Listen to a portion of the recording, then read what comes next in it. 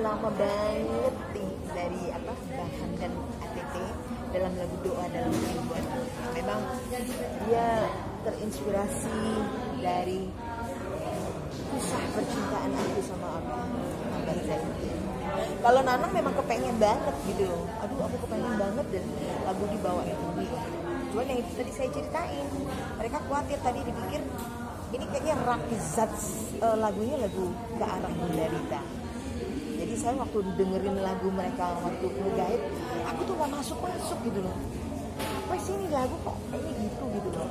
Tapi akhirnya aku pelajarin satu tuh.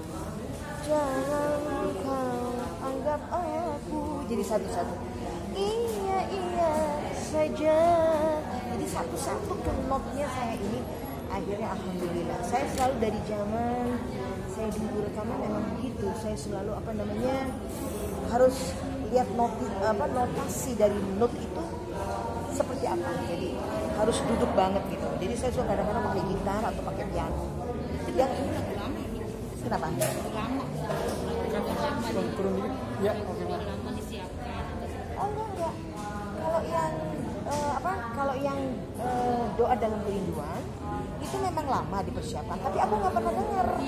Gitu. Jadi begitu ini baru dengar. Kalau yang Nanang Swito dia tuh memang tiba-tiba ngasih tahu aku gitu. Eh, apa namanya? Ini aku kepengen dia lagu aku dibawain. Nah setelah aku oke, saya dengerin senang. Nah kebetulan kita kerja sama-sama siapa namanya? Pak Hadi Hadi. Ini senior banget nih, kawakan sekali nih produser dari zaman zaman dulu aku kontrak sama Purnama segala macam. Nah terus dia usulkan ke Pak Hadi, terus Pak Hadi memang subhanallah. Kalau Pak Hadi ini saya lihat produser yang saya lihat eh, dia tuh kayaknya ini banget care gitu loh. Eh, jadi dia selalu memberi peluang untuk artis itu. Eh, dia bilang, Mbak, dia manggil saya Mbak, Mbak, jangan kalau Mbak Elvi tidak cocok dipaksain gitu. Jadi gimana? Udah dengar gini gini sudah. Terus gimana? Oke, saya bilang eh, syairnya bagus, eh, lagunya bagus, arranger dari Alik Ababil ini juga apik banget saya lihat. Ah, ah, bagus artinya mendukung semua dari syair dari eh, lagu dan saya puji banget juga untuk Alik Ababil arrangernya nih baru pertama kali keluar nih nah ada rasa khawatir ya memang untuk ini lah untuk si makhluk kecil itu kan. Jadi kalau dibilang dia tidak ada itu ada. Jadi bukan hoax. Tapi di samping itu saya lihat juga kayaknya wah wah wah wah ini kayaknya gimana gitu kan. Jadi juga saya eh, tetap berpesan untuk semua semuanya. Nah, jadi jangan menganggap ini aneh karena saya udah ngerasain banget kemarin. Seperti apa ya Allah ya Rob saya pikir juga saya innalillahi Masya Allah mungkin karena kekuatan doa berkat doa semua yang saya cinta Alhamdulillah dengan izin Allah saya masih masih bisa dikasih panjang tapi masih ada rasa trauma dan ya itu tetap itu memang eh, yang menghantui dari dari rasa sakit itu. Yang kemarin memang ada trauma ada ketakutan tetap. Terus kalau kita gini eh ini gila nggak sih datang nih. Gitu. Gitu loh karena jadi ciri-ciri yang per- perlu dipelajari adalah eh, pertama kita mual jadi macam-macam. Kayak Iis Sugianto dia buang-buang air. Nah, kalau saya menggigil setiap maghrib menggigil gitu Kedinginan. Kayak kedinginan. Nah itu kan gejala tipes kan. Terus Bupati senek gitu loh. Saya bilang wah ini kayaknya gejala tipes akhirnya saya waktu itu langsung periksa darah infus segala macam. Karena saya udah mulai lemes tapi ternyata tifusnya nggak ada. Justru mengarah ke Ke makhluk dia tuh. kecil itu gitu loh. Jadi sampai saya akhirnya saya juga apa cek paru-paru juga kan takut tinggi gitu gitu tapi bilang nggak bagus gini gini.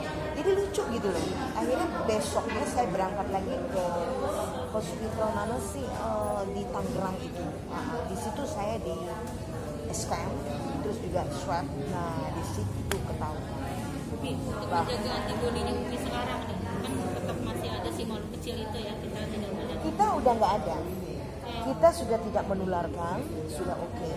Cuma dia ibarat handphone kadang meninggalkan apa namanya casingnya dia bekas kayak kita umpamanya liver. Kita ronsen ada sisa kayak cacatnya cacatnya itu gitu jadi kita memang tetap kalau dibilang oh yang udah kena pasti nggak kena. Jangan jangan jangan seperti itu. Jangan tetap kita tetap kita waspada. Pokoknya harus dipelajari bahwa kalau kita sudah tidak mencium bau sabun eh, parfum atau apa segala macam itu ciri-ciri dia. Dan itu Umi pernah itu yang pertama aku rasain. Jadi pertama aku bilang Umi kok gak ngerasain gini terus kebetulan saya flu Syehan anakku bilang itu flu biasanya kalau udah terlalu eh, istilahnya ah, ah, bukan terlalu udah gini banget itu udah ke, istilah Betawi bilang kedalon Iya. terlalu ini itu biasanya memang suka ah, ah, suka rasanya kayak gitu gitu tapi ternyata makanya tidak bilang ah oke gitu umi umi flu nah, gitu ya? Jadi jadi saya ini akhir-akhir ini baru tahu yang namanya eh, sakit katanya suka pahit rasanya suka ini rasanya nggak enak makan saya perasaan dulu-dulu masih muda-mudaan atau pertengahan gitu kayak kalau sakit maaf enak aja. Orang-orang pada turun badannya ini aku sih tetap aja gitu alhamdulillah. nah itu setelah eh, setelah itu waduh banyak banget. Jadi antivirus segala macam madu terus telur per hari saya harus makan telur antara 4 untuk putihnya aja.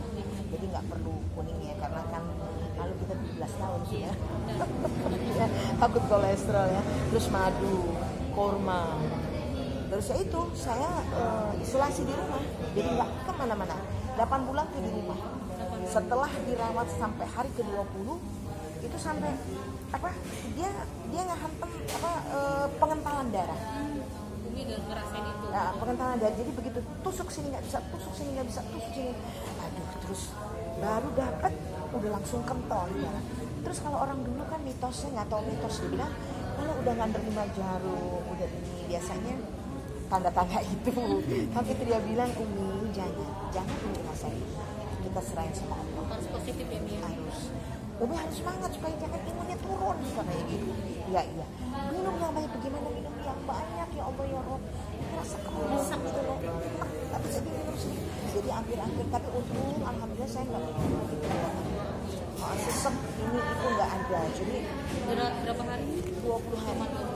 Umi isolasi mandiri. Isolasi mandiri ya dua minggu jadi di rumah. Di rumah isolasinya. Iya di rumah. Karena